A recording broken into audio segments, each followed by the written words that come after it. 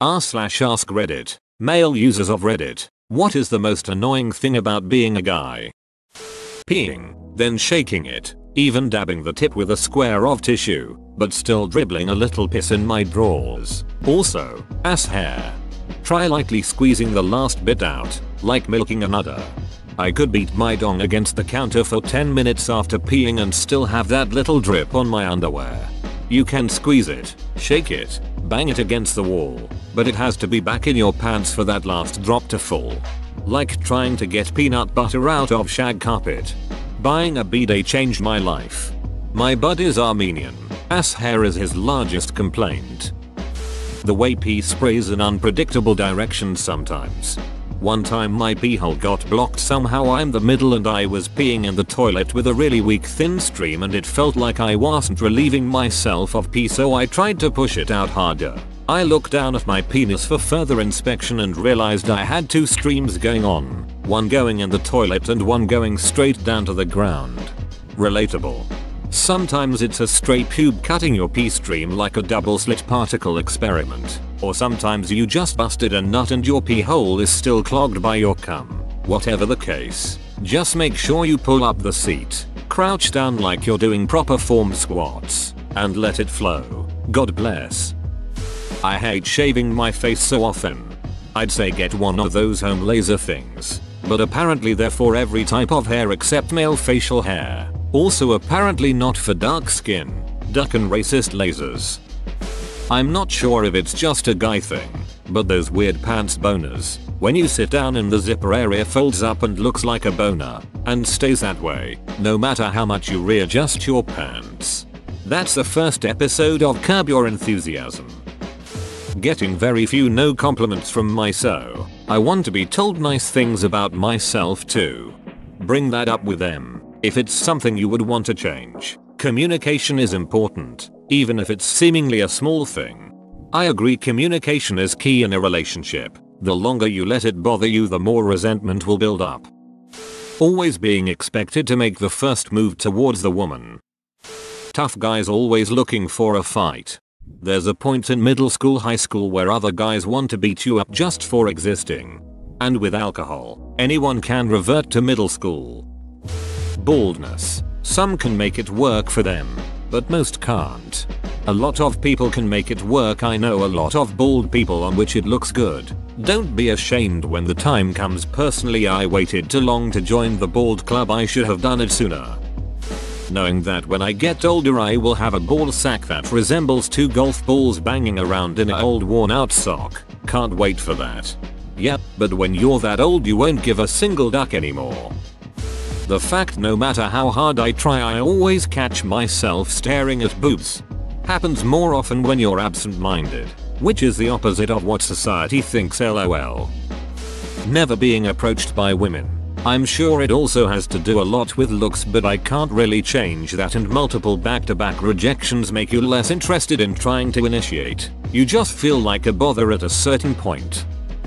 People instantly assuming you're a pedophile when you try to talk to younger girls. Like can't I just be nice? Girls aren't judged when they talk to younger guys.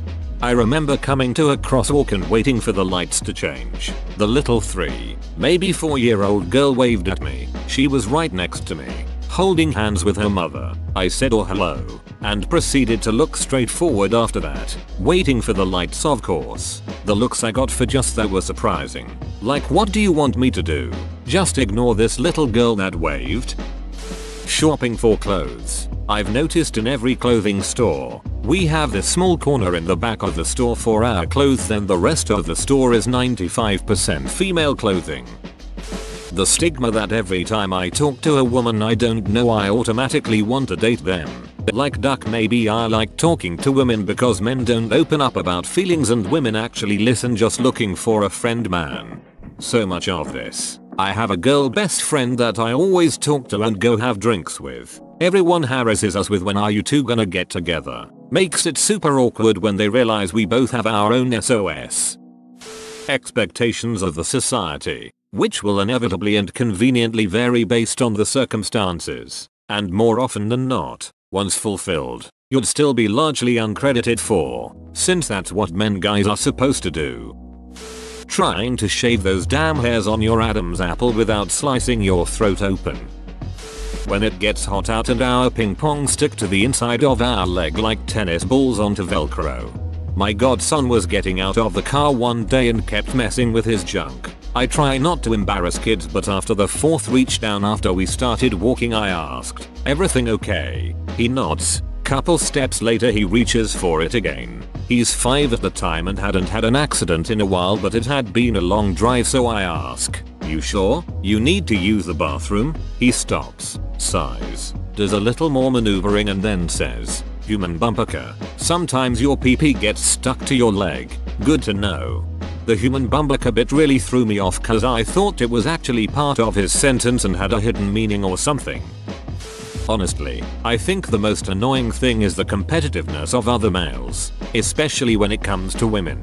I've been out with GFS and some dude will come up and blatantly start hitting on her. We'd make it apparent that we're together and then the ridicule starts. You're with this guy? I bet he really sucks at. I could be better than him. That alpha male shit bugs the hell out of me. When I was in college UK, so around the ages 16-17, I had a guy into my GF at the time. He was in one of her classes that I wasn't in. And he said to her, the thing about your BF is, he's like a Fiat Punto. He's reliable. But that's about it. I'm like a Ferrari. She told me right after the class. And I didn't really care. I trusted her and all. But I had a buddy at the time who drove a Fiat Punto. I think he was more pissed than I was. Being horny practically all the time. It affects the way I think and behave. Sometimes I want to be productive and focus on other things but my brain is having none of it. It's like a generalized anxiety, but on my dong. Shrinkage is a real thing. I've been in the pool and go home to find my shriveled up dong clinging to my balls like a baby to a mother's teat. I'd prefer if that was the normal state. Retracting when not in use would keep things more comfortable. The grower versus shower debate. Society's view of what's masculine when you're a straight small male that doesn't try to be super masculine. Most of my friends have always been girls women because for some reason I've just always gotten along better with them than men. But since I'm not stereotypically or overtly masculine a lot of the time I get hit with a, wait, you're not gay, but you're so nice. It really concerns me that they don't expect straight guys to act like a normal person around them. Everything in your life is a competition. Every ducking thing. Are you challenging me? Are you threatening me? You're expected to just deal with a lot of things that girls would get help with. Singleness. Wanting something that's out of my reach. Companionship. Life would be so much easier if I simply did not want a girlfriend. It's not like women are to blame. I don't resent anyone other than myself for it, but I hate that I want something that is out of my ability to control. It's inconvenient and causes a lot of suffering. Dealing with other men. The number of testosterone poisoned, porcelain figurine fragile ego having bastards seems endless. Jesus H. Christ, especially true amongst the rich businessmen crowd. I have had to deal with too many many Trumps. They think their shit doesn't stink and are scared shitless of answering any critical email in written form. I have made a habit of following up every important telephone call with a short protocol paired with a reading confirmation and delivery confirmation. But it really still is soul sucking. Being treated like a criminal until proven otherwise. I am a female and absolutely despise this. It has directly led to too few male elementary teachers, which is a shame. So many kids without a good male role model would benefit from having a male teacher but are denied because of this idiocy. Also, I have family that refuse to let any male except dad change the baby girl's diapers. If you can't trust your own father and brothers with your infant daughters, who are you? Also, no, none of them are pedis, nor ever gave any reason to suspect. Also, anyone was allowed to change the boys' diapers. Double standard much? Sorry for the rant. This one gets me so worked up. Many parents will yank their kids out of daycare if they hire a male employee, no matter how needed or appropriate. Absent-minded dong touching. I'll be fondling myself and not even realize it, and when I do notice I feel like a piece of shit. One time when I woke up in the morning, I was confused because it felt like someone was holding my dong. After I fully woke up, I realized it was just me. Forever alone. Girls do it too. Crotch is warm and just a comfortable place to rest your hand. Having to make the first move. Living in fear of being labeled as a creep or pervert for trying to talk to a girl. Wow our dongs really run our lives don't they boys? I would say depends on age but for the most part of younger life till 40, being constantly obsessed with sex and the need to shag. Sometimes you just need a break. Also it's a huge distraction and energy and money grabber.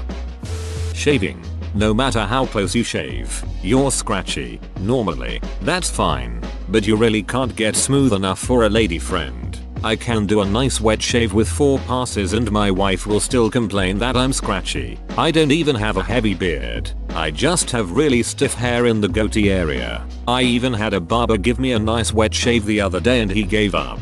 He criticized me for having bristly hair. It's better if I keep a few days off stubble. That's less scratchy apparently. I know women shave much larger area. I understand. I shave my armpits. Recommend for all men. It's awesome. That lasts for days and is pretty easy. Shaving one's face sucks. It's like shaving a scrub brush. Sexism on both sides, either women holding double standards, not all women, or being ashamed of those males who are sexist. Whoa, you made it to the end? You're a ducking beast. I'll cut you a deal. Smash like and subscribe for more curated content bruh. It's free and that's a great price.